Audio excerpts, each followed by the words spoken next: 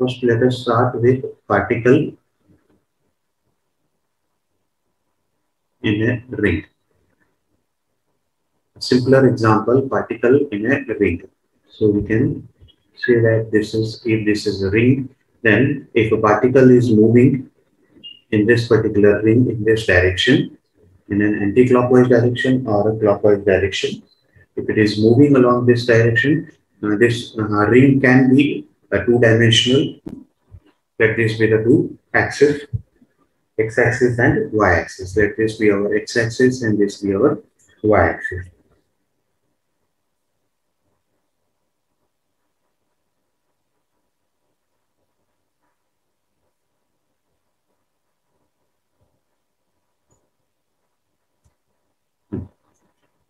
If a particle is moving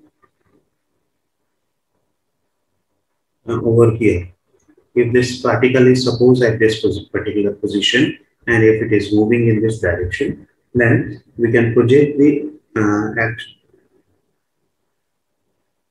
along the x-axis and y-axis here so that this will be its x term and this will be its y term or y component. So uh, this particular point, let's say P point can be expressed by the two coordinates x and y coordinates along this xy plane. Uh, if uh, let us say it's uh, P is having mass of m and uh, let this be a circle of a radius r. If a radius, a circle of the radius is r and it is moving along this direction, then uh, the position of this P can be denoted by its coordinates x and y. Let us uh, consider this uh, P particle is having potential energy zero. For our simplicity, we are not considering the potential energy in this particular case. So let that be equal to zero. Then the Hamiltonian for this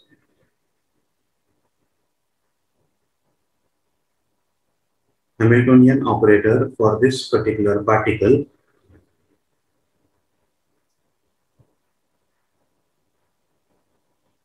can be given as. Hamiltonian is an operator.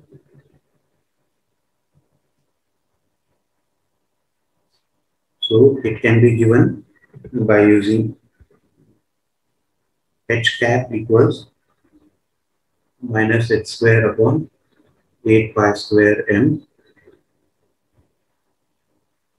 del square by del x square plus del square by del pi square. So that this will be giving us the motion uh, of the particle in, and as the motion is a circular motion, it will be giving us the uh, circular motion of the particle. It will describe the circular motion uh, of this particle and we can derive all its uh, components uh, from this particular equation. ये equation को use करके हम इसका total energy निकाल सकते हैं and as the potential energy is zero so we can find out the kinetic energy of this total energy will be equal to kinetic energy as we have considered uh, potential energy equals zero so kinetic energy इसका हमें मिल सकता है इसके motions मिल सकते हैं so uh, at any given instant of time what will be the position of this particle that we can find it out and uh, from kinetic energy we can find it out the uh, velocity we have mass so momentum इसका find out कर सकते हैं and hence uh, we can uh, find out many different uh, properties of this particular particle from solving this equation of a Hamiltonian operator for this. Schrodinger wave equation arising from Hamiltonian operator. If we solve it, we will get the uh, many different aspects of, uh, of this particular particle. लेकिन यहाँ पर जब ये circular motion में ट्रेवर्स कर रहा है अपना पाथ तो एक्स वाई कोऑर्डिनेट्स में इसको डिस्क्राइब करना will be little bit difficult so what we can do is that instead of making it in into an x y coordinate we can make it out into spherical coordinates और circular coordinates और we call it as a polar coordinates polar coordinates ये two dimensional figure है so uh, we can have two polar coordinates that is r and theta, or r and phi. ये uh, जो particle है, let uh, this will be the distance from origin. So ये distance जो है ये हमारा r होगा because this is the radius of this circle and let this be and this angle be equal to pi. Angle uh, of the particles uh, projection on the x-axis. यहाँ पे जो इसका angle होगा this be equal to phi. So uh, this side will also be equal to y which is same as on this axis. So uh, our uh, what we can get is from here is x equals r into cos theta cos phi हमारे geometric geometrical के जो हमारे lesson हैं उसमें से हम ये find out कर सकते हैं कि cos phi is adjacent upon hypotenuse. We have cos phi equals adjacent that is x upon hypotenuse that is r so that x will be equal to r cos phi. So that is what we have written over here. Then हमारा जो sin phi होगा sin phi will be opposite upon hypotenuse. So y upon hypotenuse. So sin phi will be equal to y upon hypotenuse r. So y will be equal to r sine phi. So we can convert this x and y into spherical coordinates or polar coordinates very easily such that x equals r cos phi and y equals r sine phi. Let this be equal to equation 2. So uh, from here, uh, what we are uh, making it that we have to convert this uh, Hamiltonian from a Cartesian coordinate to spherical coordinates. Where uh, the spherical coordinates we are taking it as r and phi. r is a constant because the radius of the circular path is constant. It is uh, spherical circular path में ये घूम रहा है इसलिए इसका radius constant रहेगा सिर्फ़ इसका फाई चेंज होगा एंगल चेंज होगा इसका तो phi will be the angular variable which varies from ये पूरा सर्कल ट्रेवर्स करेगा so phi will vary from zero to two pi zero to one three sixty degrees 180 degree means pi so 360 degree means 2 pi and r will be constant r is radius of the circle so it will remain constant now uh, from this uh, what we can say is that this hamiltonian operator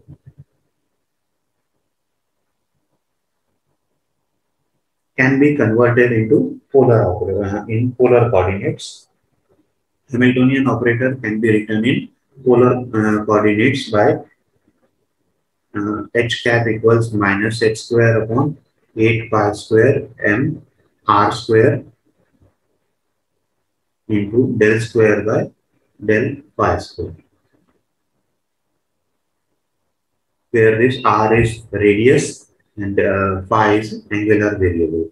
So uh, we have this quantity mr square mass into radius square. We can define it as moment of inertia.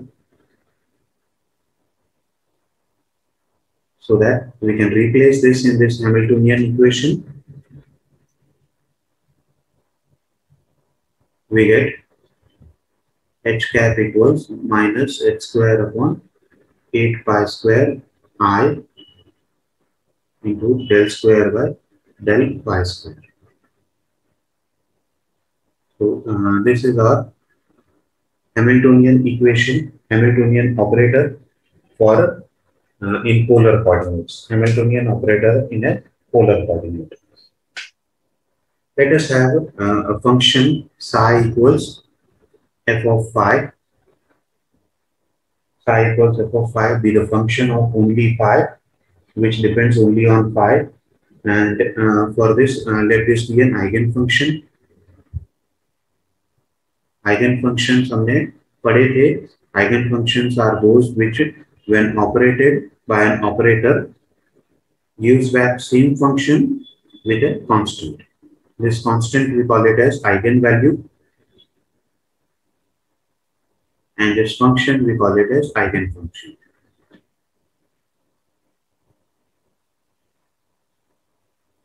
So uh, let this uh, psi equals f of phi be an eigenfunction, which is function with a variable phi only, with uh, no other variables are present. Then uh, we have Schrodinger's wave equation as h psi equals E psi. We can substitute this over here. We get h f of phi equals E f of phi or simply f.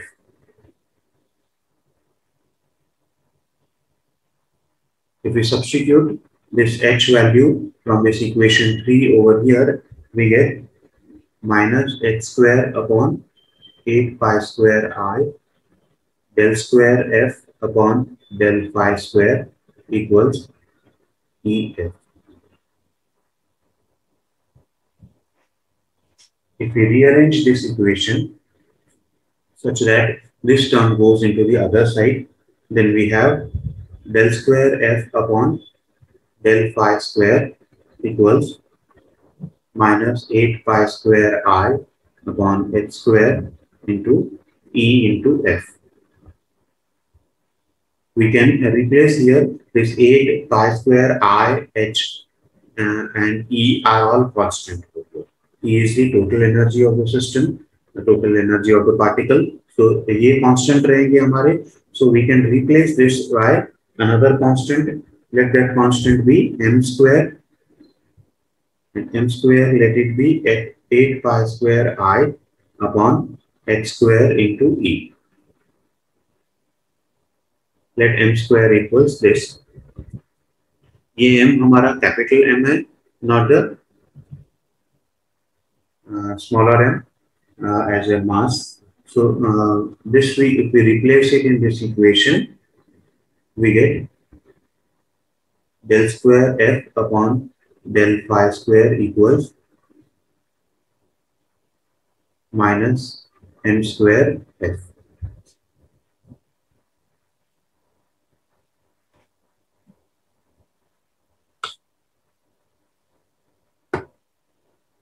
So we can rearrange this.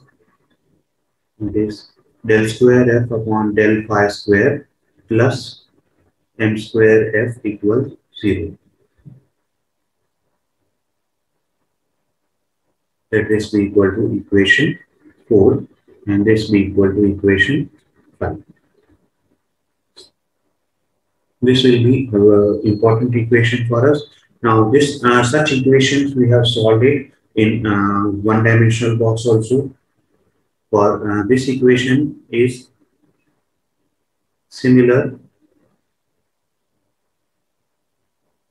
uh, for particle in a one-dimensional box.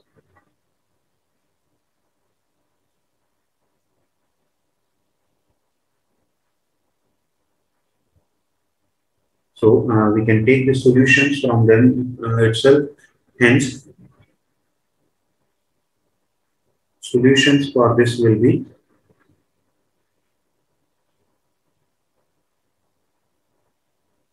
f equals n sine m phi and f dash equals n dash cos m phi.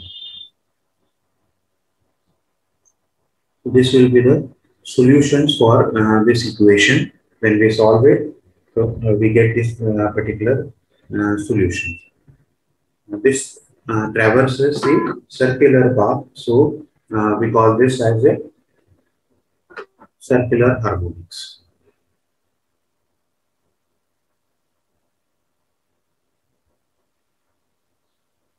This we call it as a circular harmonics. These two equations describes circular harmonics.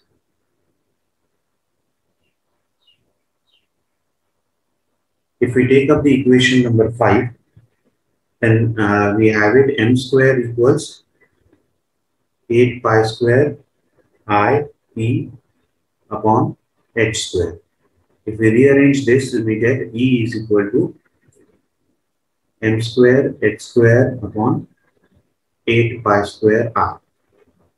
So this can be given for uh, the energy of this particular uh, function A particle in this uh, described by this function which is undergoing circular harmonics. So uh, this will be giving us the energy for that. The energy अगर हम देखें तो h square pi and uh, i are all constant what is changing is just n. So we can say that this is this energy E is quantized in units of x square upon 8 pi square i. In units of x square upon 8 pi square i जिसमें कि ये m अपना change होते जाएगा वैसे energy levels भी बढ़ते जाएँगे। It all energies will not be allowed only those energies where this m will have a appropriate number can be traversed not all और ये हमारा सर्कुलर पाथ करता है या फिर रोटेशनल पाथ करता है। सो so, ये जो पैरामीटर है M uh, this parameter m is described as rotational quantum number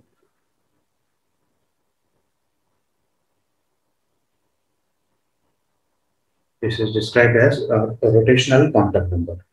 And uh, the energies will be given as E equals to m square x square upon 8 pi square r. For m is equal to 0,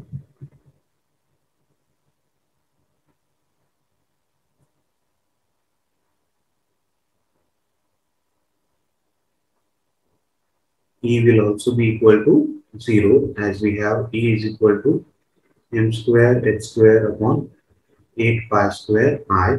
So m 0 हो जाएगा तो E भी हमारा 0 हो जाएगा, which implies that no zero point energy is present. हमने harmonic oscillator में देखा था कि वहाँ पर ज़ीरो पॉइंट एनर्जी रहती है। यहाँ पर हमें no zero point energy is taken at m is equal to zero, we have energy is equal to zero.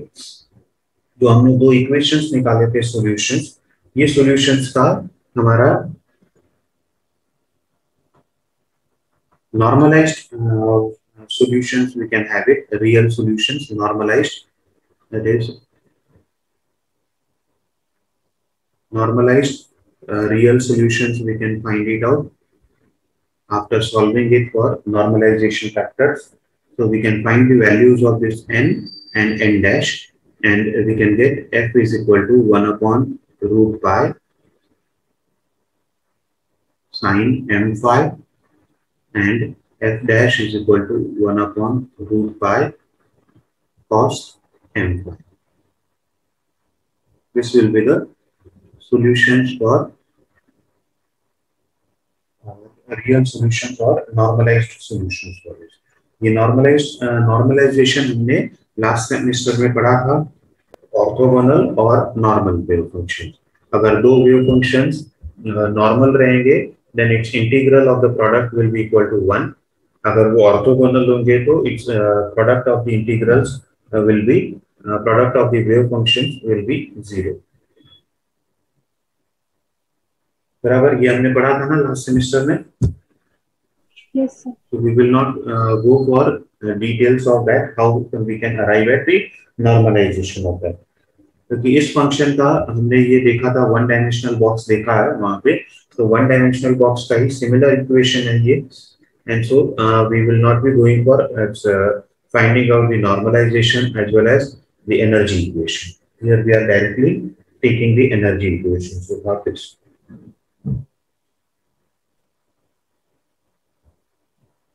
further when we go for further values of n from uh, 1, 2, 3 and so on, what we can say is that the energy levels energy levels are all doubly degenerate. Energy levels will all be obtained as doubly degenerate energy levels. Doubly degenerate energy levels means degenerate energy levels means those energy levels which are having same energy. And if there are two such energy levels which are having same energy, then we call it as a doubly degenerate. अगर हमारे पास तीन energy levels जिनका energy same हो then तीन levels जिसके energy same हो तो हम इसको बोलते हैं ट्रिपली डिजेनरेट एनर्जी लेवल्स अगर हमारे पास क्वांटम मैकेनिक्स के हम अलग अलग यहाँ पे कॉम्बिनेशन लेकर के तीन ऐसे लेवल्स ले जिसका एनर्जी सेम हो then we call it as a triply degenerate if uh, two such are there then we call it as a doubly so we can have it multiple uh, such uh, degeneracy we can have it ये हमने last time पे three dimensional box में देखा three dimensional box में हमने देखा था the degeneracy and uh, how we can make it out now we can find the degeneracy into it let us solve one problem uh, energy expression for an electron in a rigid rotor is given by the equation em equals m square h square upon 8 pi square i calculate first three energy levels using above equation for the electron rotating in a circular orbit of radius 0.5 angstrom you have been given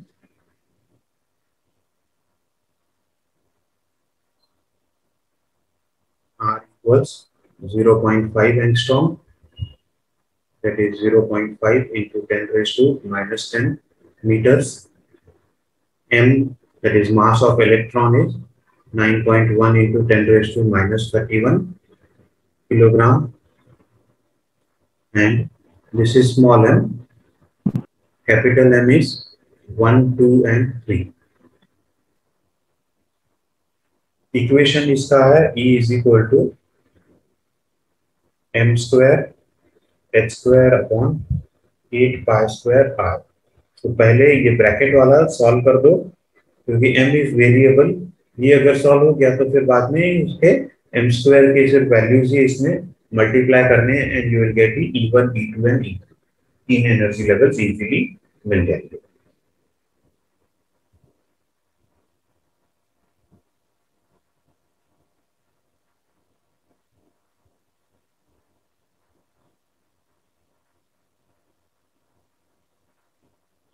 E will be equal to m square into 6.626 into 10 raised to minus 34 into 6.626 into 10 raised to minus 34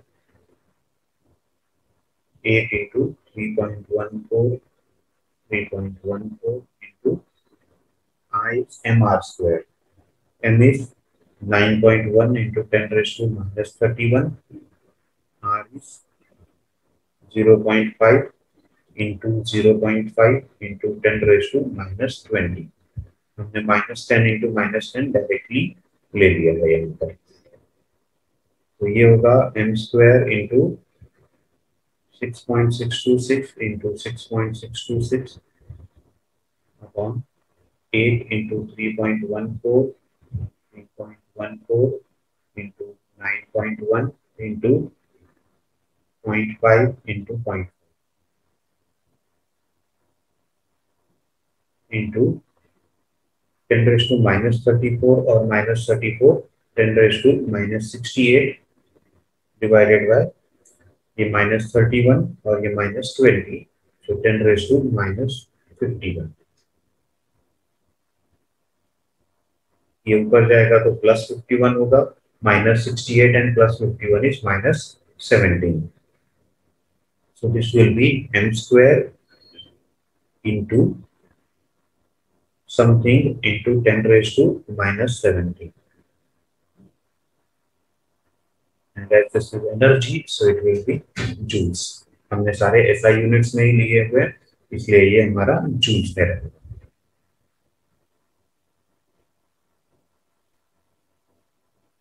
Six point six two six into six point six two six. This becomes our forty three point nine zero. और जो नीचे denominator है is 8.8 into 3.14 into 3.14 into 9.1 into 0.5 to 0.5 ये होता है 179.44 so overall this becomes 0.244 into 10 raised to minus 17 joules so now what we can do is we can substitute for different m values we have e1 for m is equal to 1 we have e1 equals m is 1 so m square will also be 1 so 1 into this that will be 0.244 into 10 raised to minus 17 joules m equals to E2 will be equal to 2 into 2, 4. So 4 into 0 0.244 into 10 raised to minus 17. That will be equal to 4 for the 16, 6, 16 plus 1, 7, and 8 and 1, 9. So 0.976 into 10 raised to minus 17 joules. Similarly, for m is equal to 3, E3 will be equal to m square is 3 square 9. So 9 into 0 0.244 into 10 raised to minus 17. 9 fours are 36 6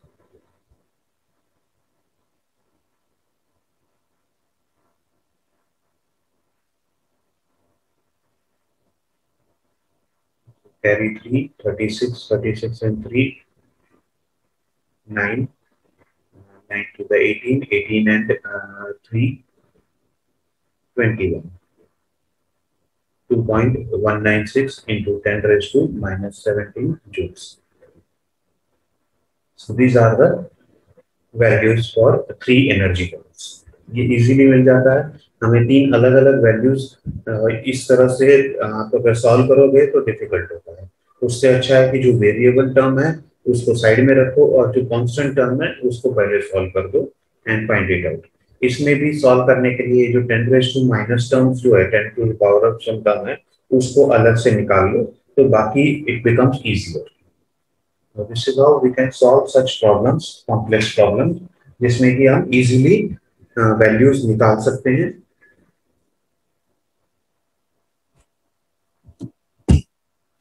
So this was for one you can have another one for homework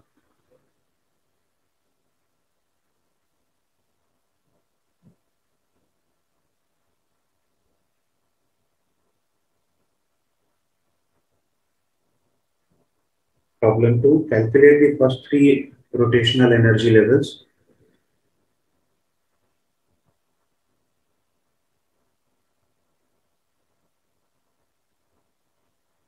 Calculate first three rotational energy levels of a rigid rotor.